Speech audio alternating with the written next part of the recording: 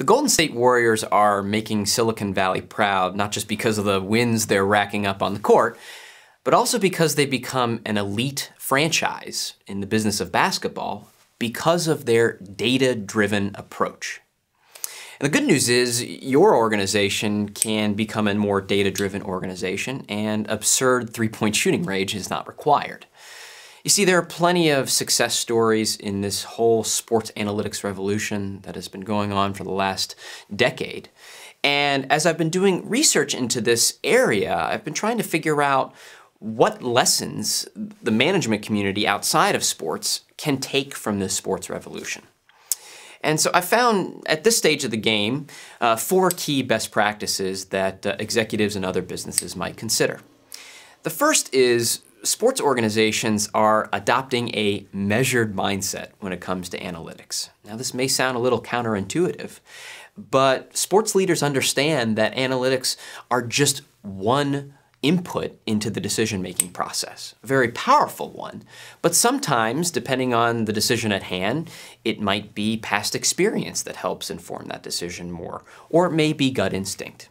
These sports leaders are understanding that analytics is part of an overall decision-making process. The second key best practices that, that we're seeing in the, in the sports analytics industry is that these leaders are focusing on the objectives. Now, this may sound simple, but at the end of the day, on the personnel side of a sports team, they're trying to win games, and on the business side, they may be trying to drive more revenue or um, ensure that the, the business runs more efficiently. In either case, analytics is another tool to help accomplish the objective of the organization, and that thought cannot be lost on other executives looking at this field. The third best practice that we've seen is investing in data collection technologies. Now, the NBA is a good example of this. There are now six cameras atop all the rafters in every single arena that are cataloging 25 frames per second of the play on the floor. These technologies didn't exist before, but now they're enabling new types of analysis on the game and the players that are most valuable. If you are trying to solve business challenges within your industry and the data technology does not exist, you have to push to try and find it and innovate it yourself. Final best practice that we've seen is that these teams are practicing effective data communication. Data means very little if it's just sitting on a spreadsheet. In fact, it's the data scientists and the leaders that can actually explain why the data matters and what's actionable, actionable about it to, to players, to general managers, to presidents, to the sales staff that are really making the difference.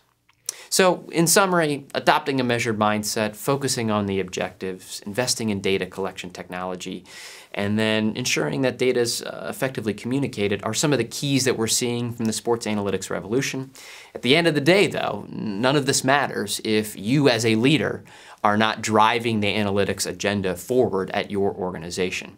Time and time again, we've seen that the strongest leaders are the ones that are getting the most out of analytics within their organization.